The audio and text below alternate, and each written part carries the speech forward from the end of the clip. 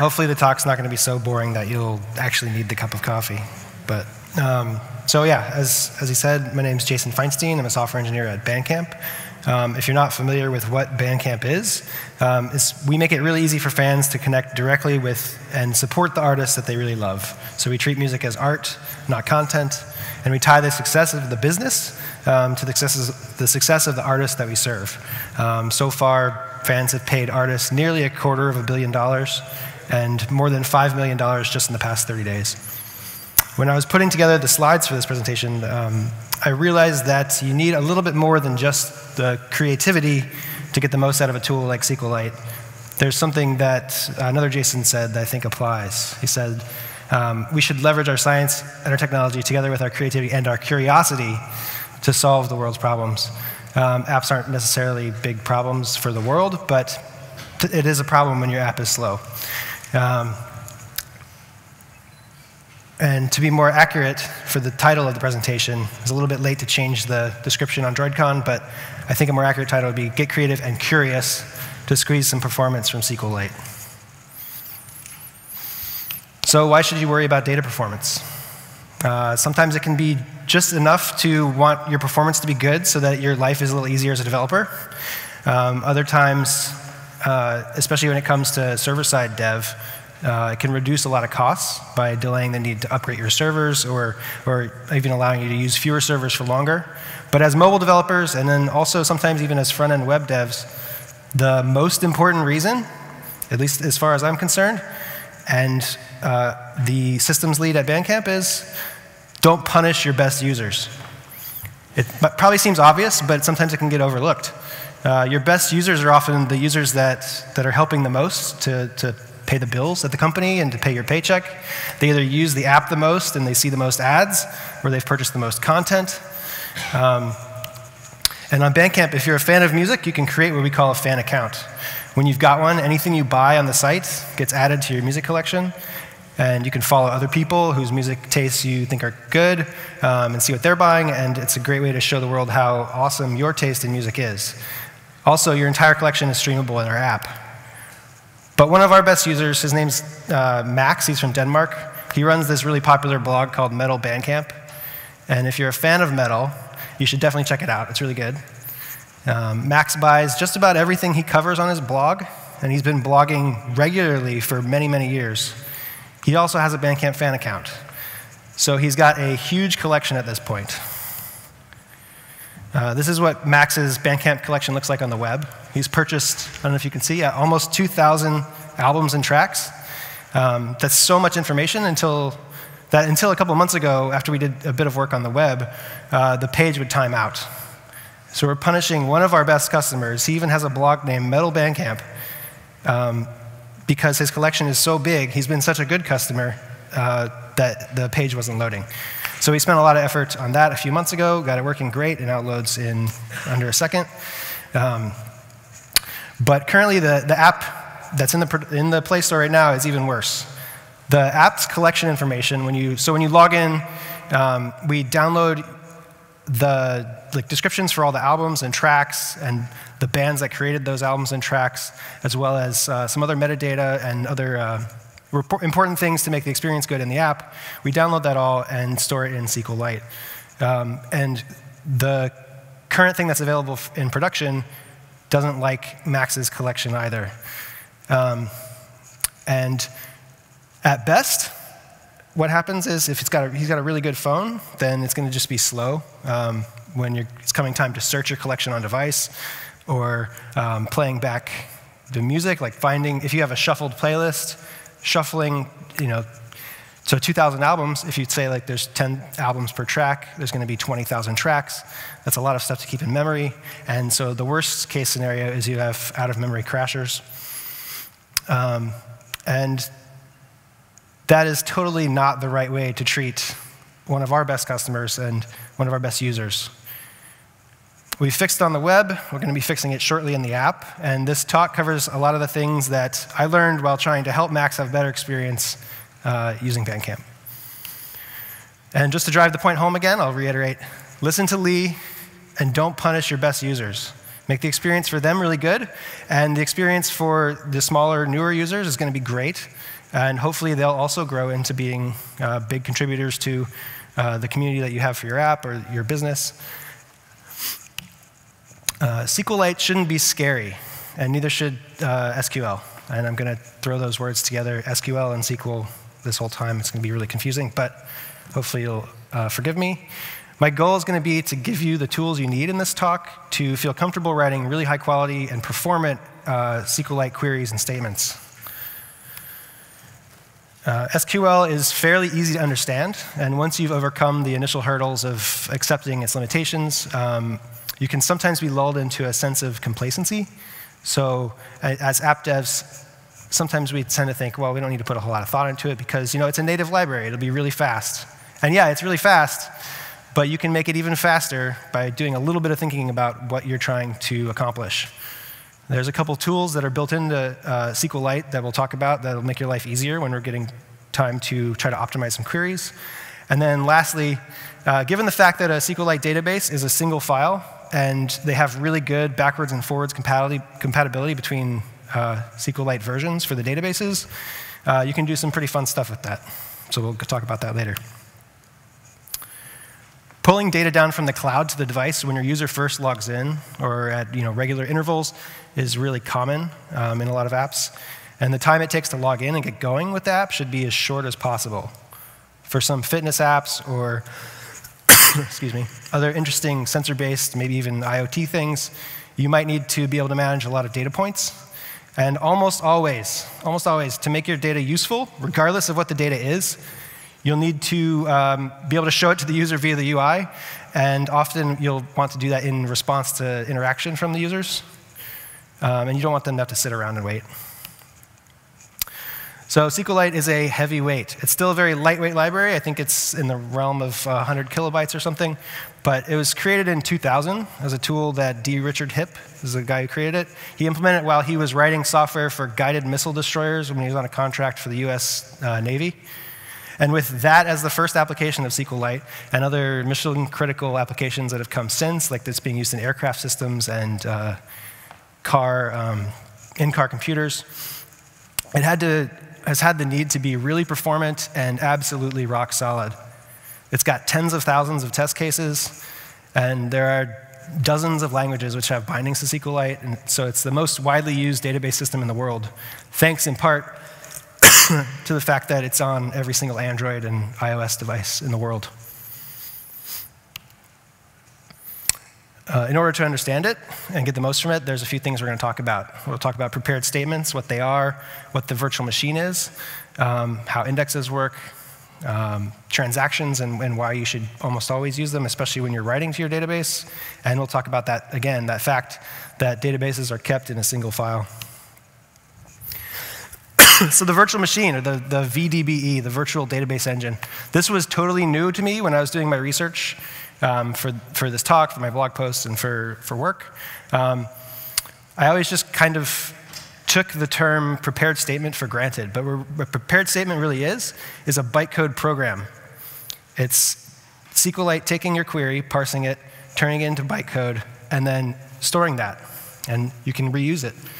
Um, so also, just like you might expect with other machines, it's got registers, and SQLite uses them to store values from the database for different operations, as well as um, that's where the parameters for your prepared statements are kept.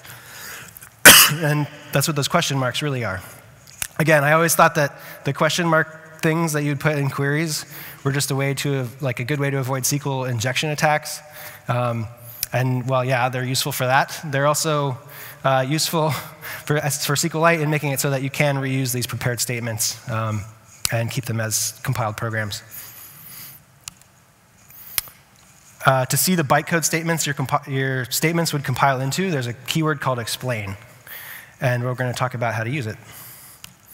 Start with a really simple example. The statement's just trying to concatenate world onto hello, and then select that as the greeting.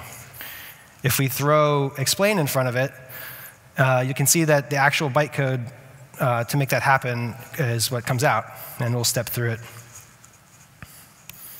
So first, we get the init opcode, And that tells us uh, with parameter two that we're going to jump to uh, line four, where we are taking the string hello, it's also got a space in there, uh, using the string eight um, opcode and storing hello in register two.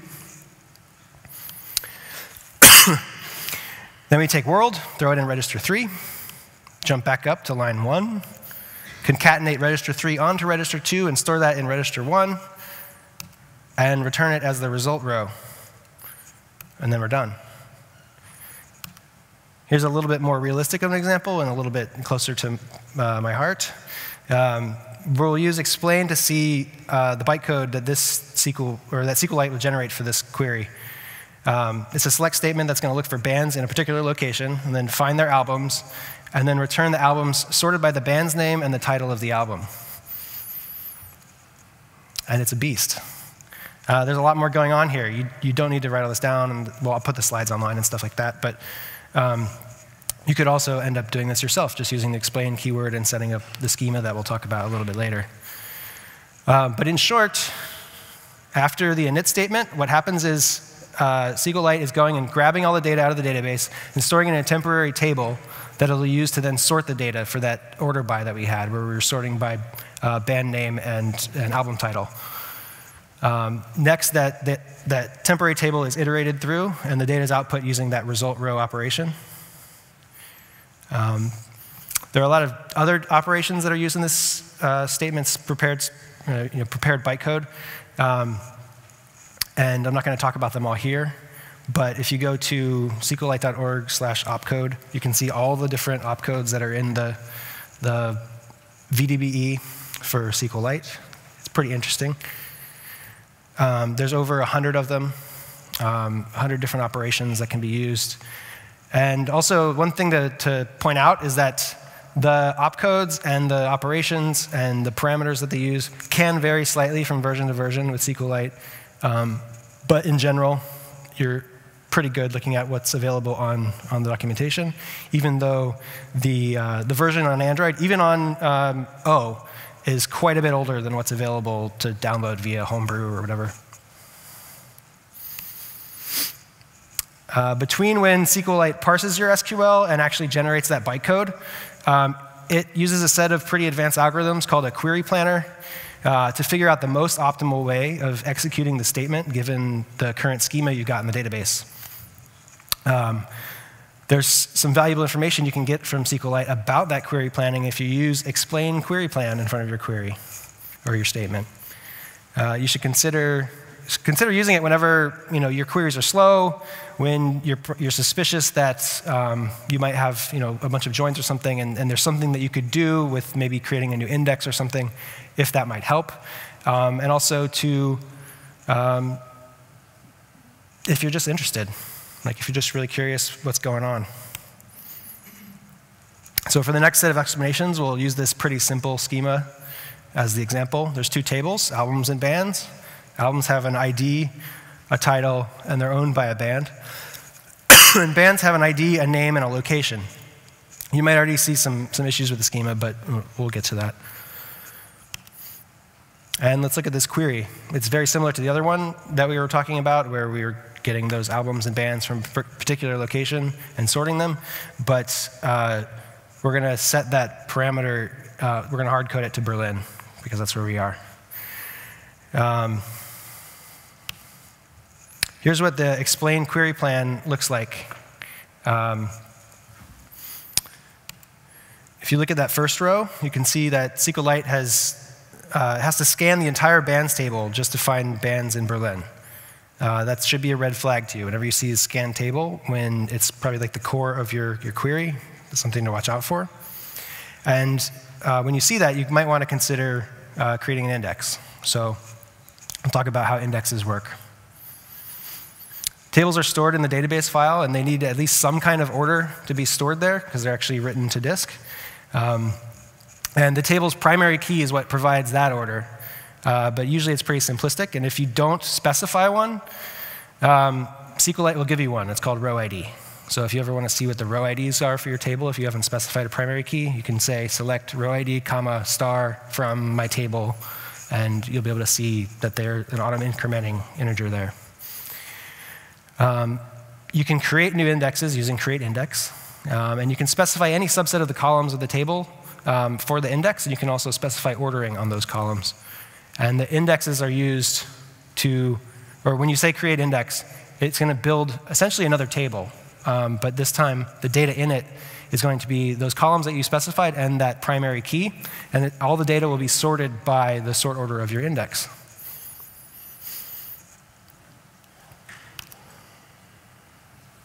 Uh, before we create one, let's look again at that query. Um, the, the full table scan on the bands table, when, when looking for the bands based in Berlin, uh, it, we have that scan. It's going to be slow. Maybe we should put an index on it. But just to make sure, we can talk about what happens when you don't have an index. Um, let's do a little bit simpler example where we're just selecting just the band information where the location is Berlin and we don't have an index yet. Keep that in mind. Uh, when we, have got a large table of bands, and the records really aren't in any particular order, so without the index, we just kind of have to go linearly, one by one. Oh, that's Michael Jackson. He's in Los Angeles. That's not Berlin. Madonna, LA, again, not Berlin. Led Zeppelin's in London. Nope. ACDC, that's Sydney? No, that's not right. Oh, there's Rammstein. That's in Berlin. Okay, we can return that one. Then we have to keep going. Uh, ABBA, Stockholm, no. And then you, know, you just have to iterate through the entire table until you find all the Berlin-based bands. That can be really slow, really slow. Um, as I said before, indexes let us avoid doing linear scans, and instead they provide a separate ordering of the data um, where, because it's ordered, SQLite can use binary search. So how many people here have heard of binary search? Ah, cool. I don't need to explain it. and big O, performance notation? Cool. Okay, so for those of you who aren't familiar with big O, it's just a way of describing the performance of an algorithm, and it's usually based on the size of the data. So a linear scan, because it has to go one by one by one through the whole collection of data, uh, has order of n, because it's going to have some multiple of n operations it has to do to make it through the data. Binary search, because it's going to be looking in the middle, and if that's too big, it's going to look uh, towards the beginning, and it's going to keep doing this, and it ends up cutting the search space in half every time. You can prove, and I'm not going to do that here because this isn't a computer science uh, like research academic conference. Um, you can prove that it's the order of uh, binary search is, is in the log um, realm.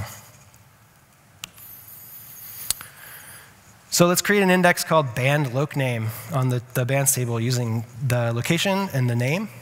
Um, and this is kind of what the, the index would look like. It doesn't really look like this in the, in the file, but it's pretty similar.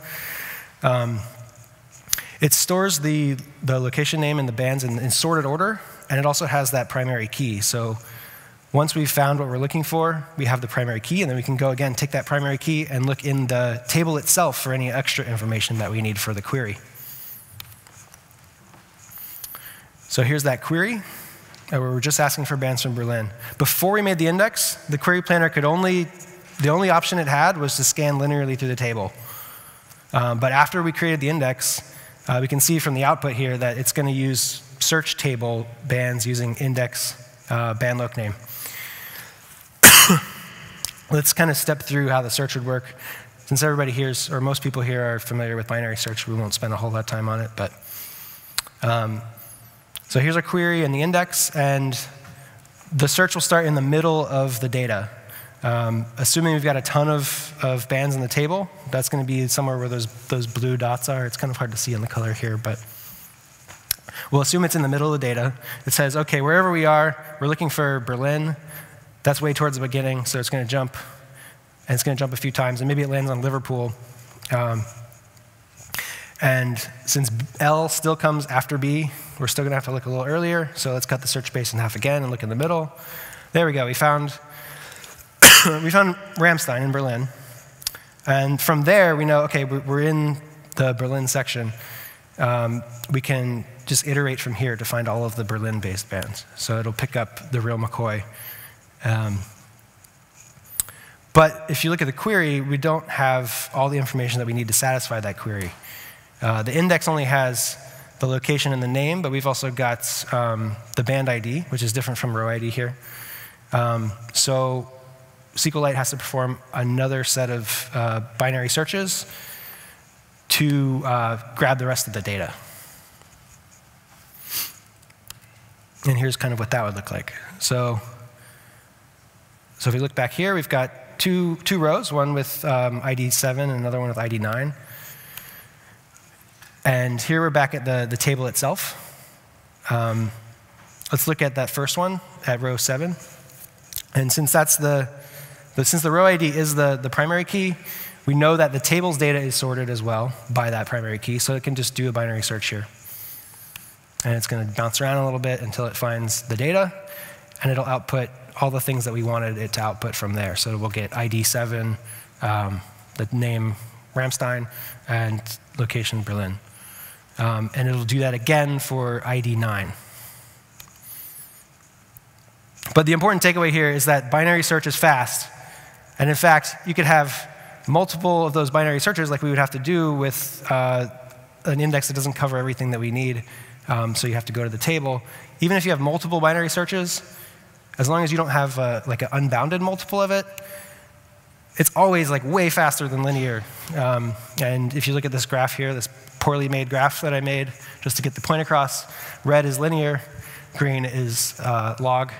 And if you've got a lot of stuff, so you're further over to the right, it's just log blows linear out of the water. Um, in, in some situations, you can even remove that second batch of, of uh, binary searches that it has to, has to do. And that's called, or when you can do that, is called when you have a covering index. So when your index has all the columns that you're asking for, it's called the covering index. And SQLite's smart enough to skip that second set of binary searches and just return stuff straight from the index. but there's some downsides, especially like, you know, when you think about this, you might think, well, okay, I need to put indexes on everything for all my queries, um, and then it'll be all really fast. But there's some cost to indexes that you have to worry about too. Each index on a table is a, is a copy of the data that it's indexing. So if you have a giant index that's covering the exact sort order for what you're asking for, you're going to have an entire copy of your, your table or, or stuff like that. And if you have several different queries and you try to do that, you're going to just have way too much uh, data on, on disk. So just keep that in mind. Um, indexes are not as useful uh, without having high, what's called high cardinality, where that, all that means is that the data needs to have a lot of variance. Um, so if you think about what binary search does, if you have um, like three different types of data, but you have 10,000 items, it's not going to get a lot out of binary search, even if those, those three different types of data are sorted, because you still have 10,000 items. And it's going to have to, once it hits what it's looking for, iterate through those sections. And also, insert, update, delete, anything that's going to write to the database is going to take a little bit longer because you'll have to update the indexes. So now you know how indexes work. Here's the version of the schema that should help that, the query planner uh, choose a more optimal way to, to execute the query from earlier. And we'll talk about what we added here. We specified um, the ID column of both tables as primary keys. So now we can drop that row ID, and it's going to use the ID from the, the tables as the primary key. and we can just assume that's going to be okay for, because we know our backend and we know that all albums and bands have unique IDs in their own spaces. Um, and we've also created two indexes. One index is on the albums table using the band ID, and the other index is on the bands table using both the location and the name columns. So here's our query again. And when we run uh, explain query plan before and after, here's the difference in the output. Uh, looking at the first row, you can see that the band loc name uh, index that we created is, is helping a lot. We've got, not only do we have uh, search instead of a scan, we have a covering index. Um, so it doesn't have to do the second look into the bands table to get the extra information that we're asking for. Um, and the order by part of the query benefits quite a bit from that index as well. Because the index itself is ordered, and we're asking for First, albums ordered by band name, and secondly, ordered by uh, um, title of the album. Um, that first part of the sort can be handled completely by the index, and the second part is, is what we still need a, uh, a temporary B tree or a temporary table was created at query time uh, to do that part. So we've cut out a bit of work for sorting. And you can read more uh, about explain query plan on the official documentation, how the query planner itself works and how indexes work, um, also on the documentation. And then I made a post about this on Medium um, that's pretty similar to what I talked about here, a little bit more detail. But for a short break, let's do something Android specific. Up to now, we've been mostly talking about stuff that applies pretty much broadly to wherever you're going to use SQLite. Um, but since it's DroidCon, we should at least do something Android specific. And so consider using a database cursor instead of loading all your data into memory for a recycler view adapter. There's a big asterisk there, and we'll get to that in a, in a minute. For the, the cursor-based recycler view adapter, there's a few things you need to do. So you'll set up your cursor um, in something you'd call from either on start or on create view. Um, when you need to return the item count, you'll use cursor.getCount. It's pretty straightforward stuff. Um, in order to get data for on bind view holder, you'll just use cursor.move to position and then ask for the data that you need from the cursor. And then don't forget to tear down the cursor and free up the memory um, in on stop. Uh, I can't really see it, but I bet a lot of you are starting to get like, like kind of ants like you get feeling of ants crawling in your skin because I'm saying you should use the database on the main thread. Um, so, I mean, it's something you just need to keep in mind as a trade-off. Recycler view adapters, they need to be able to, to respond on the main thread, which would mean that your query will have to run on the main thread, and it should be blazing fast. Um, whether or not you want to, to decide to you know, make an informed decision, whether or not you you, feel comfortable accessing the main thread could, uh, it, it's up to your situation. And like with most of the topics that we've covered at this conference, there's something to keep in mind. It depends. But I think it's always better to drop a few frames than it is to crash uh, because you don't have enough memory for all the data. So if we go back to uh, Max from Metal Bandcamp, uh, if he doesn't have like the newest, best flagship device, his app is just going to crash because of the current implementation that we have or at least the current version that's in the Play Store. And I think it's okay for him when he's flinging through 2,000 albums for there to just be like a few dropped frames as we go and grab another page of data from the database. Um, I think that's better than, than not being able to use the app at all. And the next step, we'll go back to SQLite proper stuff. What should you do uh, to make it so that you can insert as much data as possible as quickly as possible. there's, there's two main tips that I have for you. Um, the first is you should always wrap a uh, group of statements, especially writing statements, uh, in a transaction. And you'll want to consider potentially using bulk inserts. Um, here's some code that will iterate through a bunch of bands that we've received from the server, and it just inserts them one by one. Um, calling db.execSQL and passing one record at a time uh, without a transaction wrapping the whole thing. This is really slow, and we'll, we'll get to why in a little bit. If you um, just add three more lines, um, and keep in mind for the sake of brevity, we're not, th this code isn't catching exceptions and, and failing the, the, transaction or anything like that.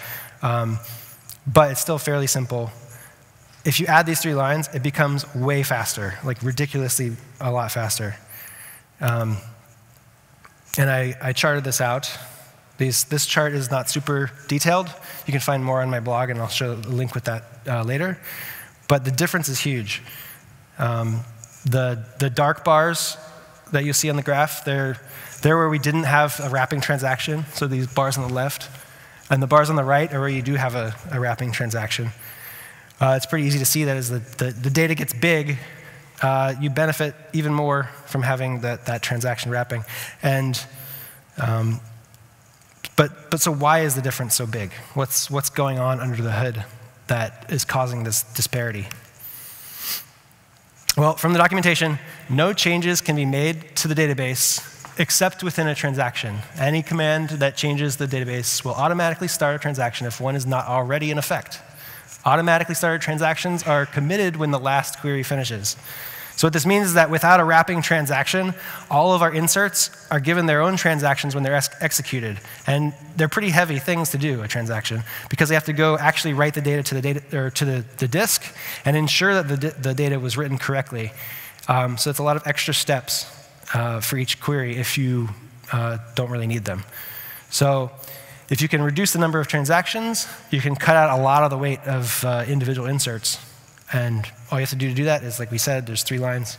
You wrap it in DB start transaction, mark transaction successful, and, uh, and then close the, the transaction. Another thing to keep in mind when inserting a lot of data into the database is to consider using batch inserts. Um, you can see in this query up here that I've got uh, multiple values that I'm passing. I've got um, so the bands table has ID, name, and location, and we've got several question marks wrapped in, in parentheses. Um, but there's some problems with this that you have to watch out for, just keep in mind. Uh, if you look at the source code for SQLite, you're limited to 999 uh, question mark variables in a, in a statement. So you might have to, like you might not be able to insert everything at once. You'll probably need to split things up and make sure you stay under that 999. Um, here's some more notes on, on bulk inserts. Uh, it's not a huge improvement like we saw when going from not wrapping uh, with a transaction to wrapping with a transaction, but it's still pretty noticeable. uh, you want to watch out not to exceed that, those 999 variables. And for older versions of Android, uh, the SQLite li library actually will limit you to the number of records that you can insert at once, and this is because of something under the hood um, with how uh, older SQLite would actually go about doing that, doing a bulk insert. Um, so again, more stuff to just watch out for. And you can find out more about uh, the experiments I did on insertions at my blog on Medium. Um, there's actually numbers there, and you can download the, the application I used to benchmark, to run the benchmarks. Lastly, let's talk really briefly about how SQLite databases being kept in single files can mean you can get really like creative and, and uh, like inventive when you're syncing data from the cloud. So content type application slash x SQLite 3. Uh, because SQLite databases are stored in a file, you might even want to consider serving them up from an API. Here's a really simple retrofit service that defines one call and uses the accept header to ask for a SQLite database file as the response format. And even though I'm not going to go into how you generate the database on the server, um, I can tell you that I've, I've done it with Python, and it's fairly straightforward. You create a database, keep it in a temporary file, and then feed it over the, over the wire as the response body. And then in a background thread, if you haven't already synced from the server, you can call the, call the service, copy the data to a file, and then you can just use directly SQLite database.open or create database with the file. Um, and then you can start running queries on it. So you've already synced. You've pulled all your data down, and you're accessing it like anything else you would access um, with another SQLite database that you generated on the device. There's some caveats to this. Uh, managing migrations and how you go about changing the schema can be a little bit more complex. You need to make sure you keep the, the application, um, application schema version and the server's schema version in, in sync, and so you want to uh, version the API as well.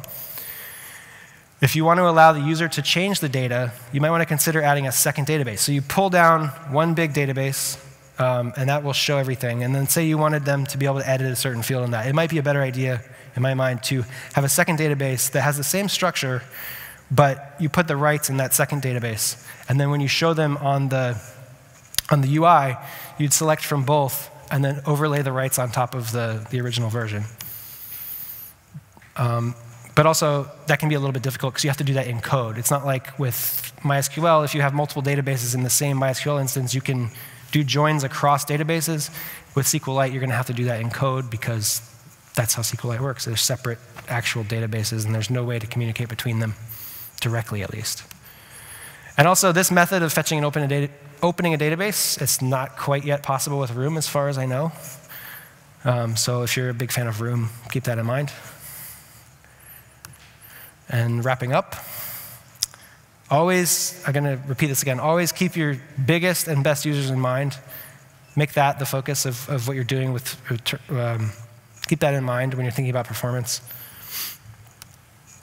And then get curious with explain and explain query, wow, explain query plan and, and profile your code in general. So hopefully uh, you've got a few extra tools in your toolbox when it comes to looking at persistence and performance. And um, thanks to some of the things I talk about today, things like fast insertions, optimizing our queries, and even that uh, cursor-based recycler view adapter um, for our main collection view, Max from Metal Bandcamp, he's going to soon be able to actually use the app, which is going to be fantastic. Thanks, or danke schön. Uh, thanks, Jason, for the uh, for your presentation. Just as a reminder, at uh, 4:45, there's going to be Eric Cochran talking about upgrading to Moshi.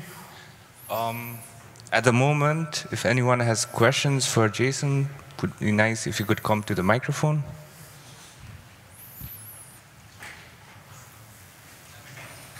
Oh, sure developing map services for iOS and Android, and we had a problem recently. Um, we are fetching 100,000 of um, roads from a database, an internal binary database, and we have implemented a system in which you could override um, these these roads attributes and we had the problem that um, to check if a modification has been applied to any of the roads, we had to check if the index of the road is existing in the database. And each um, check took about, not, not, very much, but like 15 microseconds. But if you now count 100,000 times and uh, multiply it with 15 microseconds, mm -hmm. um, yeah, it was slower to check if there are modifications made than the rendering of the whole map. So is there a solution to check very quickly if an index is even existing in the database. I think that might involve some extra things that you would probably need to do outside of the database, but we can talk about it a bit afterwards. Mm -hmm. Off the top of my head, I can't really think of anything right now. Anything else?